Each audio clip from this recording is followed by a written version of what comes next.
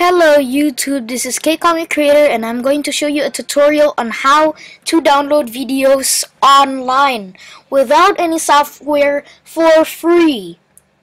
And it's kind of fast too. Okay, so first you might want to open a video from YouTube. But this thing can only work on YouTube basically. Yeah.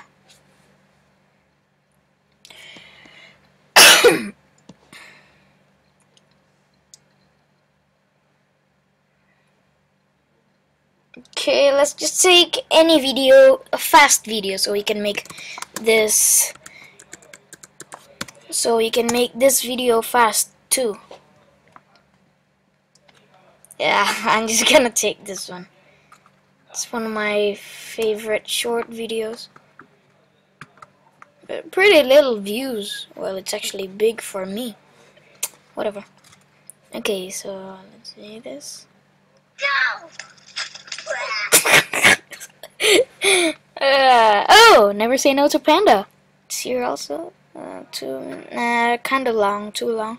Let's just take this one. So what you do, basically what you do is just take this URL, the link, and then between the www dot and youtube.com, right over there, you write down SS and there you go to this website called savefrom.net here. And you come up with this page. And uh, yeah. You just gotta wait. Okay. This can go both Windows and iOS. Okay that's just because it's the Gobua and it's pretty low quality so MP4 you know you should always choose MP4 so the sound is clear and also here is the quality the pixels. P stands for pixels and this is the quality so it's the highest. So just pick the one that has the highest number and is in MP4 so that one you'll get a nice sound and a nice yeah. Yeah. And that's it. And after all that finished I mean it takes only three seconds so it will download only for three seconds. So now you can see it in downloads. Uh, well this I just uh, download from just now.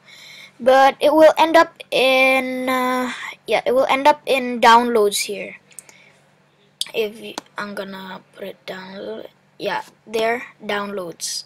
So you just take these videos and then after that you can just click on them.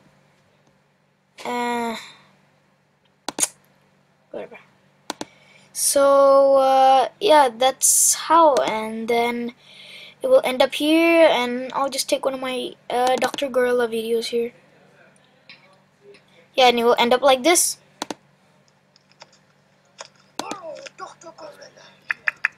Dr. Gorilla. I want to tell you about Dr. Gorilla Mutant Dog.